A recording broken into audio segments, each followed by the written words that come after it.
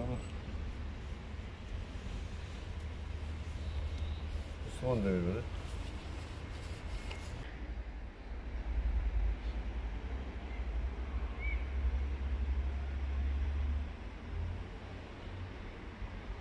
Bizim yoldaşımızın devrim, sosyalizm ve gençlik mücadelesinde e, hayalleri vardı. Asker dönüşü fabrikaya girip e, işçi önderi olma hayali vardı. Belki birçok değişik değişik hayalleri de vardı. Ama bizim e, Emek Partisi yöneticisi olduğu için de bizim e, ortak hayalimiz nedir? İşte e, hedefimiz nedir? Sosyalizmi kurmaktır. Muhakkak buradan etkilenmişti.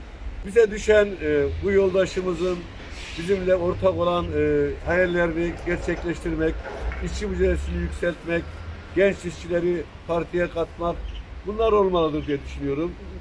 Yoldaşımızı sevgi ve saygıyla anıyoruz.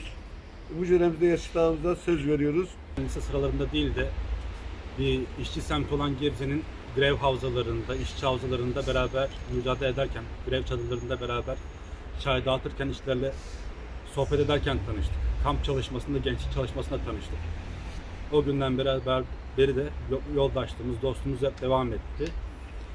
Ta ki işte 2013 yılına kadar birçok arkadaşımız, o dönem meşhur olan birçok arkadaşımız üniversiteye giderken az önce hocamın da bahsettiği gibi mazlum bir işçi olmak, bir sınıf neferi olmak için öndeki askerlik engelini kaldırmak için askere gitti ve bu şüpheli ölümü, öldürülmesi haberiyle karşılaştık. Bu benim için bireysel olarak ilk öldürülme hadisesiydi. Mazlum'dan sonra Gezi'de, Soma'da, 10 Ekim'de Ankara'da, birçok fabrikadaki iş cinayetinde, eğer kadınsak sokakta, eğer LGBT ise sokakta ve bugün de Maraş'ta, Adıyaman'da, Malatya'da, Hatay'da öldürülmeye devam ettik. Bizi öldürenlerin, bizi öldürenin ne olduğunu yine bize mazlumun mücadelesi gösterdi. Eğer yoksulsak, eğer bu yoksulluğun da karşısındaysak biz öldürülmeye devam ediyoruz.